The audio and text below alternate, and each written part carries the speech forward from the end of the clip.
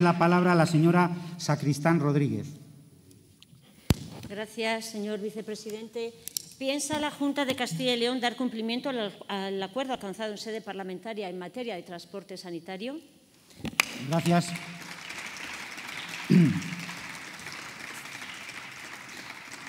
Para contestar tiene la palabra el vicepresidente y consejero de Transparencia, Ordenación del Territorio y Acción Exterior, señor Igea Arisqueta. Sí, bueno, no, es que tengamos la intención de cumplirlo, es que lo veníamos haciendo antes y hemos dado orden específica desde la gerencia para que se haga una auditoría eh, en todas las áreas de salud. Por tanto, ya se hacía con anterioridad al 6 de octubre y se ha dictado una orden para que se haga una auditoría y se tomen las eh, conclusiones pertinentes. Gracias. Para un turno de réplica tiene la palabra la señora Sacristán Rodríguez. Gracias, señor vicepresidente, de nuevo. Le felicito, señor Igea, le felicito por su respuesta, como siempre, tan coherente eh, con su gobierno. Un gobierno que no dice la verdad nunca y que perjudica los intereses de Castilla y León siempre.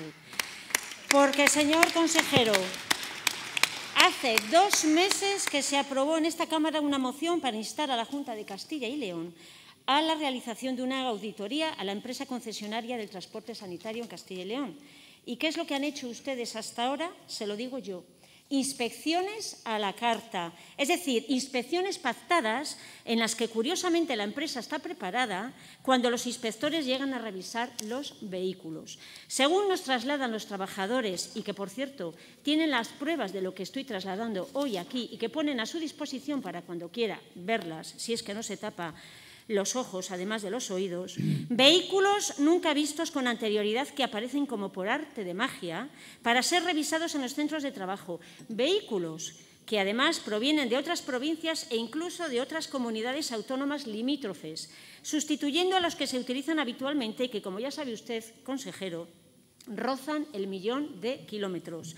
Una vez revisados por ese arte del birli-birloque, igual que aparecieron, desaparecieron esa exhaustiva inspección que hacen o que deberían de hacer y que nada tiene que ver con la auditoría se limita a una revisión superficial de apenas cinco minutos, pero siguiendo además con esa pantomima de inspección para comprobar que las ambulancias del Servicio Público de Salud no realizan servicios privados, se utiliza un método muy exacto y riguroso, y espero además que se me haya entendido la ironía, y que consiste en preguntar al técnico de emergencias sanitarias delante del superior de la empresa cuáles han sido los dos últimos servicios que ha realizado. Como comprenderá, consejero, ya sabe cuál va a ser la respuesta. Y así, Así, señor Igea, es como cumplen ustedes con su obligación de supervisar el cumplimiento del contrato del transporte sanitario. Si es así como entienden ustedes que se debe supervisar un servicio público y esencial como este, no es de extrañar entonces el deplorable estado de los vehículos y que este fin de semana, además, y sirva como ejemplo, se encontraron con carreteras nevadas sin neumáticos de invierno y con las ruedas desgastadas poniendo en grave riesgo no solo a los usuarios del servicio, sino también a los propios trabajadores. Miren, unos trabajadores que les recuerdo siguen siendo los peores pagados de toda España, gracias a que la empresa Ambuibérica no ha sido capaz, después de tres años, de firmar un nuevo convenio colectivo con sus trabajadores.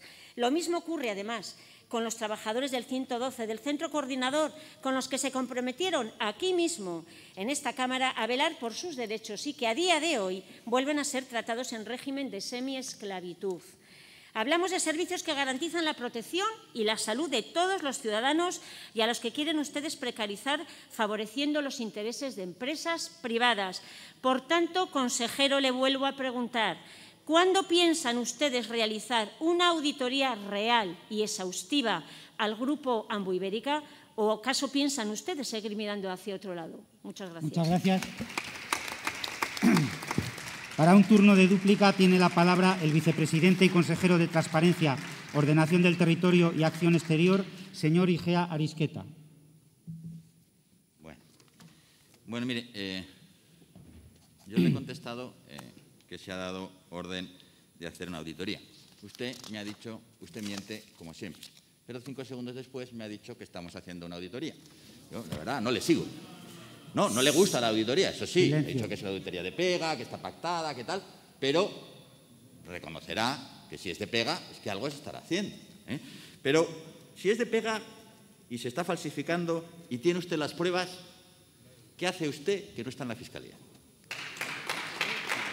¿Qué hace usted que no está en la Fiscalía? ¿Tiene usted pruebas de que se está falsificando? Vaya usted a la Fiscalía. Ya está bien. Dejen de venir aquí a calumniar. Si tienen pruebas de un delito, vayan a la Fiscalía, que es donde tienen que ir. Dicho esto,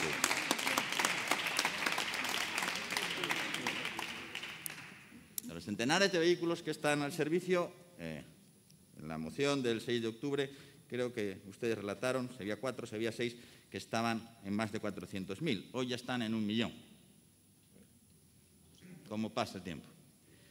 Eh, bueno, mire, yo capto la ironía bastante bien, ¿eh? incluso la suya. ¿eh? Pero hay una cosa que no capto bien, y se lo voy a decir.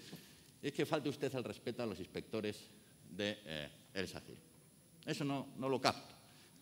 Porque me está molestando bastante que usted esté diciendo que los inspectores del SACIR están conchavados con la empresa. Porque no me gusta que falten el respeto a los funcionarios públicos. Soy así de raro.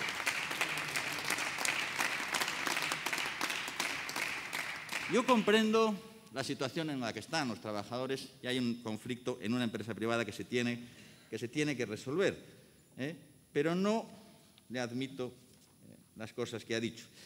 Dice que ustedes, ustedes que nosotros queremos precarizar, pero queremos precarizar como todas las comunidades autónomas en las que ustedes gobiernan y mantienen un contrato con esta misma empresa. O son unos criminales en Castilla y León y no lo son en Cantabria o en Aragón o donde gobiernan ustedes. Son la misma empresa.